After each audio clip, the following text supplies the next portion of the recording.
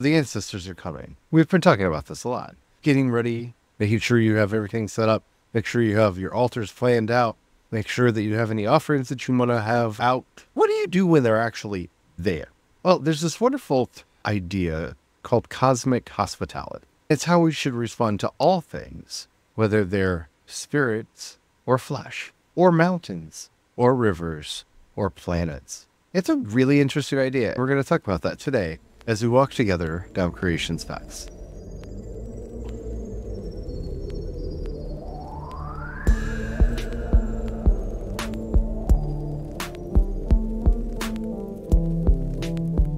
Hello, everyone. My name is Charlie, and I have allergies. I feel like it's like my voice. I'm really, really, really weird. If so, I apologize. They've been flaring up for a while, and they're really hitting me hard this year. I am also a Christopagan druid and priest of Bridget. Hello, everyone. I'm Brian. I'm a kumquat. I too breathe the same air that Charlie breathes while the allergies are raging. So bad this year. We've had friends going to the doctor because they were sure they'd caught some exotic disease, and they're like, "Oh, we tested you for everything. It's just allergies." I know I went through the whole mental panic cycle. If I caught something, went down the list of possibilities and realized it all to allergies. It was just so bad it felt like I was sick. So if we sound a little sniffly, then that's why. Hopefully, this will pass in a week or three because it looks like we're gonna have a cycle this year. Let's get into what we're actually talking about, which is the ancestors. What do you actually do when they're there, and what is cosmic hospitality? Cosmic hospitality is the general notion that we should be welcoming, gracious, and respectful to everything that we meet. Thing is a very important word there. Everything that we read, because we never know what effect it will have on us. You see, the industrial age and the imperial ages that preceded and continued through it saw the world as something to plunder. They saw the world as something that it, they could extract resources from and didn't really care about, oh, pesky things like ethics, morality, sustainability, general survival. This just wasn't high on their list of, of things. Cosmic hospitality is the exact opposite of this because we now know how much we rely on the bees, the trees, the rivers, the clouds, the mountains, the various biomes that exist on Earth. The more we study, the more we're coming to understand this amazing interconnectedness between everything. So, approaching the world and everything that we encounter with this kind of gracious, respectful attitude, one helps keep us from making the mistakes of the past, but also helps us to establish something we talk about a lot on this podcast, and that is right relationship with those things. This applies equally to the spirits. We've talked a lot about not upsetting the other crowd in ways that you can upset the other crowd, but this also works with our ancestors and our ancestral lines. We did an entire episode on this, if you want to go back and check it out, where we talked about our three ancestral lines that everybody has. You have your ancestors of blood, who are your parents and your parents' parents, your parents' parents, parents' parents, all the way back. You have your ancestors of milk, who are the people who have nourished you, both personally or through their poetry, writing, art, what have you. And you have your ancestors of land, who are the people who lived where you are now. And you may have never met them or anyone from their people group, but they still have an effect. Learning to have this cosmic hospitality for all of our ancestors helps us to live in accord with them. Now, I want to say right off the bat, this does not mean that we welcome all of our ancestors in. If you've listened to our previous episodes, you know that we have some ancestors by name who are not allowed to visit us during the festivals. They're specifically barred, cannot enter. Nope. That is fine because hospitality is a two way street. If we say you cannot enter and you try to enter anyway, you are the one not being hospitable, not us. That's something I think that is easily forgotten in the world that we live in. One of the biggest things in hospitality is setting those ground rules, those standards, the standards by which you're going to hold yourself and anyone else in that space that has been established. That's something I think a lot of people miss or forget or lose track of. So if that standard is Like, I don't want any murderers acceptable in this space. That means you yourself do not do the murdering, and anybody does the murdering wanting to enter the space, they're not welcome. And that's okay. It's okay to have those standards. Now, there there is a thing of going too far.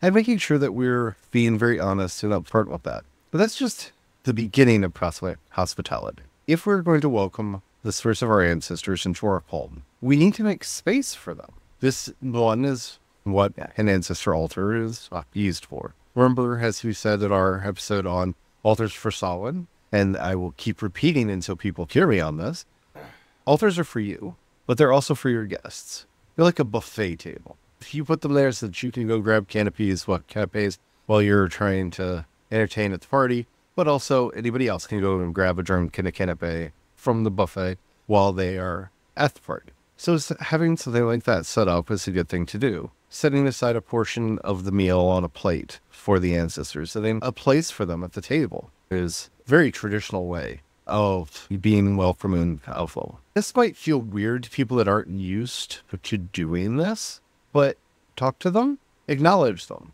not just through formalized, ritualized prayer, which, if that's something that you feel called to do, by all means, do it. Life incense, light a candle, say your piece. That's great. I know that there are certain ancestors that I've had that were very interested in certain aspects of my life. I have one grandmother who loved all of my paintings and drawings, as said. I always say a little prayer every time I finish something like that because I know that's something that she would be interested in. I have a great aunt who I knew was very interested in my storytelling and in my fiction. So every time I write a story, I make sure to let her know. Just on a basic psychological level, this helps to keep us connected to them and their memory and helps us to stay grounded in the knowledge that people have cared for us. Because it's easy sometimes to forget that. But it also, somebody who does believe in this spiritual woo woo of everything, connects us to them specifically. There are times when I'm working on a poem and I'm trying to emulate the style of a poet that I love, that I will invoke them like Homer calling a muse, because I really want that poetic style. And they are an ancestor of, on my milk line. They have inspired me, they have nurtured me, they have gift given me the tools to become who and what I am today. Now, remember, they may not know this and they may not care. And since things true for your ancestors of blood, by the way, not every ancestor is wanting to connect to all of the children. All of the Think of it like with ones that are still living and around in your lives. It's that same guidelines. Like they're going to ha- each have their own interests. They're going to each have their own involvement. They're going to care or not care. Goes for whether they're alive or passed on. It doesn't really change. When dealing with your ancestors, unlike any of the other spirits that you might be dealing with, don't be surprised if you don't hear back from them. With other spirits, especially some of the more some of the more local nature spirits that we deal with, they're they're here. When we're talking to the spirit of the river, well, the river's right there. The likelihood that the spirit will hear and answer is higher. When dealing with angels, angels are for the most part just embodiments of various powers and energies so as long as there is compassion in your life, Michael will probably answer any of your prayer because Michael is the archangel of compassion, no matter what anybody tries to tell you. Raphael is the archangel of healing. They are present because those energies are present. Ancestors, like the other crowd, have lives of their own. They're not sitting around on a shelf somewhere, like in Mulan, waiting for you to light incense or to think about them. They're doing other things they may have moved on to another life. They may be exploring the cosmos. It doesn't mean that they still can't help you. See, I was taught, and I tend to believe this, that one of the reasons we don't remember our previous lives so well is that before we come back, we hand off our memories to a spirit that will basically take care of our loved ones while we're gone. That there's a cloud of spirits that kind of follow us around in life, and that they will take care of our, our descendants so we don't have to worry about them while we're off doing something else. But you never know if they're going to show up. And that's fine. I think we put too much focus on, well, the spell didn't work, so my power is weak. Or I did the ritual and I didn't have this elaborate dream. It didn't have a vision that broke the heavens and I saw the secret order of all things. There's a craving for spiritual experiences on the level of what we see in movies, books, and TV shows. I like to remind people magic is a subtle art. Can you have those kind of earth shattering visions? Yes, they, they can happen. Yeah, you, you can't predict them and you can't force them to happen they're rare. They're very rare. Most of what you're going to be experiencing is the, are these small things, these little things. A big part of hospitality is making sure your expectations are right. If you're throwing a kid's birthday party, sitting around and discussing the oeuvre of a talented modern painter, it's probably not what the kids are going to want to do. They're not going to want to talk about the one man show that you saw last week unless it was a kids related one or something, right? And I think we we miss that when we are thinking about dealing with spirits and the ancestors that we have so fetishized the spiritual that we feel like they're just waiting for us. We are the active agents of the universe. We are the main character of the story, and we're not. You know, if you're throwing a party with a lot of a certain kind of music and your ancestors don't like that kind of music and made that known in life, they probably won't hang out at your party. They'll probably be like, well, that, that music got turned on, and they'll leave.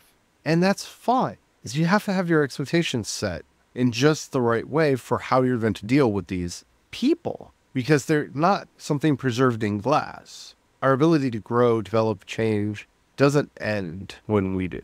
And you have to be ready for that. When you're thinking about how to be hospitable to your ancestors when they've arrived or when they're in the house, think about your living room. Where are you watching television? Where are you playing video games? Where are you hanging out most of the time? Because let's face it, we're facing a three day holiday. We're not going to be in a profound ritual space for three days. I know some people will try. Good luck and Godspeed. I would love to hear about it. love to hear about it. Tell us how you coped when you finally burned out. So, when you're not in these highly ritualized spaces, think about how you want to incorporate them into the rest of your day. If your ancestors are coming to visit, how would you treat them as a house guest? I had a friend, one of my very first witchy friends, had a spare room in her house. She would go in and she would prepare like anytime she had a guest coming to visit. She would freshen up the linens in the spare room, fluff the pillows, get everything just so if she had anything that were her ancestors, for example, like hairbrushes or jewelry or anything, she would lay them out on the dresser and stuff in there so that they were in there for them. The room was set up for them so that they had a space that they could go and be in. She would also designate one of the chairs in her living room. Like this is the ancestor chair. She actually went so far as she she was really good with fibercraft and wove basically a rocker for them.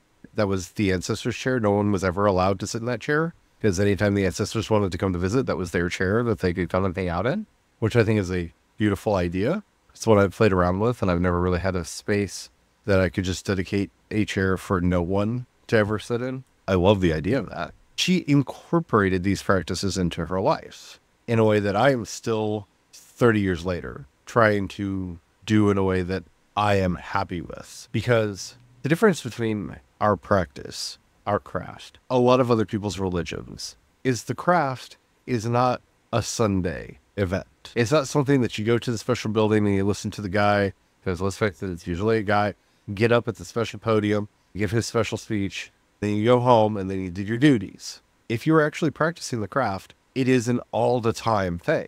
The magic is happening. And we know this because anytime we're doing anything with intention, whether that's conscious or unconscious attention, that is the weaving of magic. Whether you're just sitting there crocheting or sitting there petting your cat this is, in fact, a magical experience.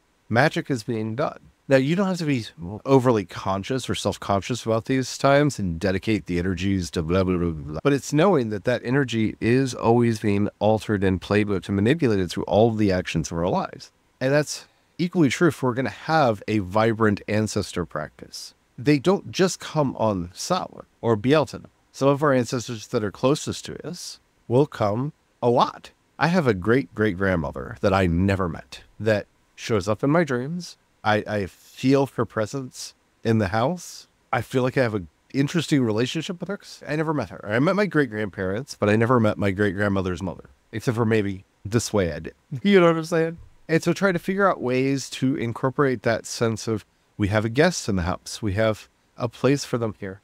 How are they how are we living with them? Is something that I don't think a lot of us who are new to the craft or who have converted in, you know, sort of practicing the craft have really given a lot of thought to. Because the worst thing that we can do, from my perspective, from just a general hospitality point of view, is welcome to the house. You are so gracious to be here. Uh, there's food over on the table. Uh, I'm going to go ignore you now for like three days. Yeah. That, that's not hospitality. For me, uh, one of the ways I figure out what those standards are is remembering one, doing unto others as I would have them do unto me. That is twofold. How would I want to be treated when I'm a guest somewhere?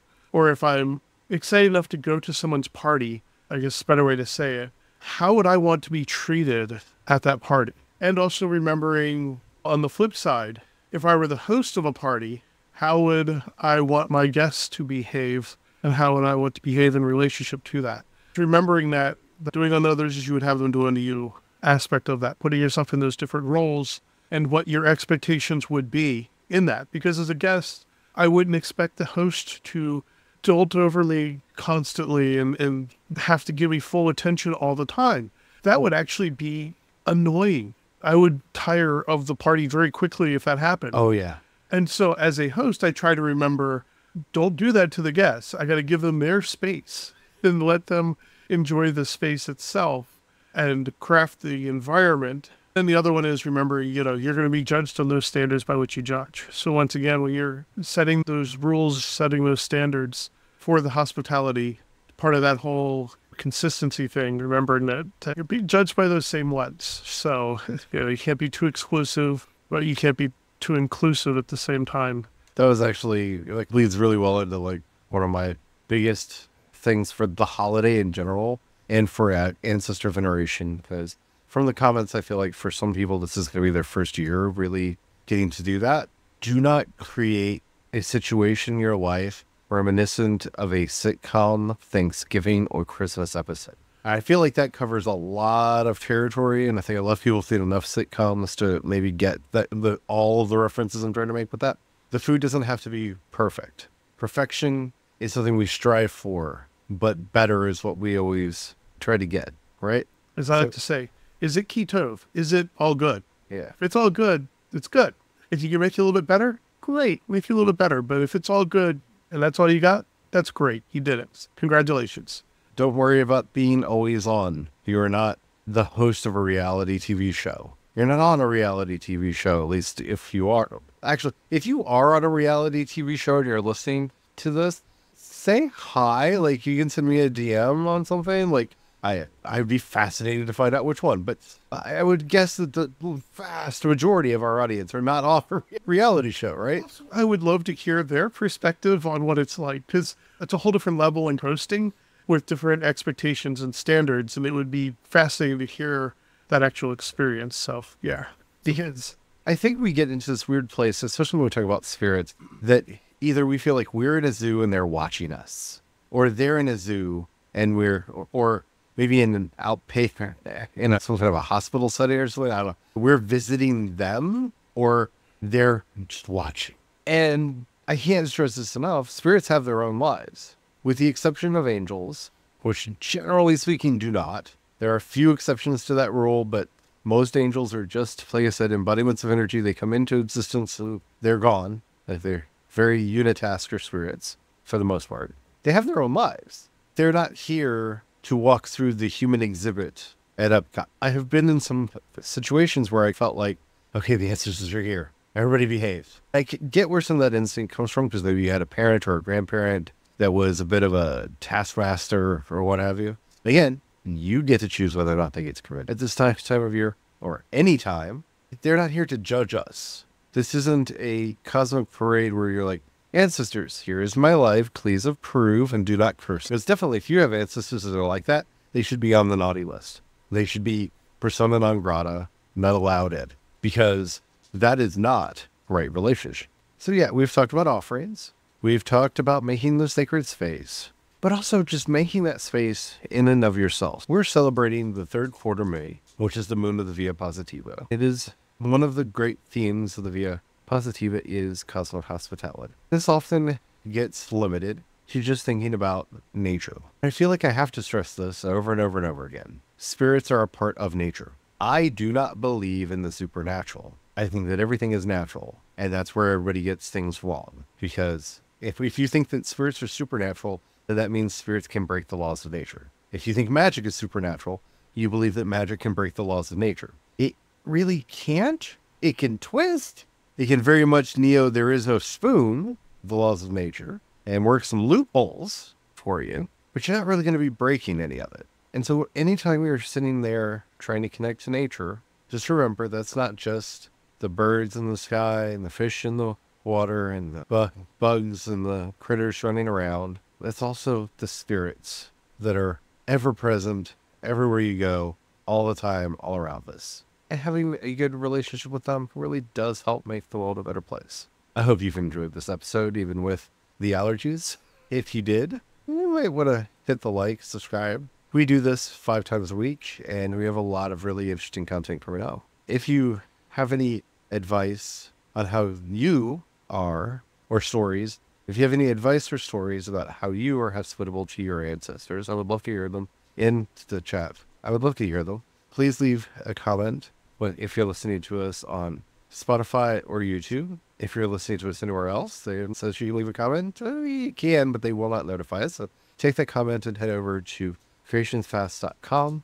Click on the chat. You can leave your comment there. We will be able to see it and have a conversation with you because I'd love to know how are you doing this? Especially because I'm trying to be as open as I can. I don't want to be too proscriptive. And also, I don't want to step on the toes of, I know how some of my Korean friends and Chinese friends and other people of other cultures do these kinds of things, but those are not my cultural practices. And I do my best not to be appropriative of other people's cultures. But if you do things differently, please share. I, I think it's beneficial to us all to learn. While you're over there, if you happen to have some money you can pass our way, you could join as a member. It really does help us out. It helps us keep a roof over our head, feeding our table, and the power on. You can also support us at Ko-fi and Patreon. I am CE Dorsett on both.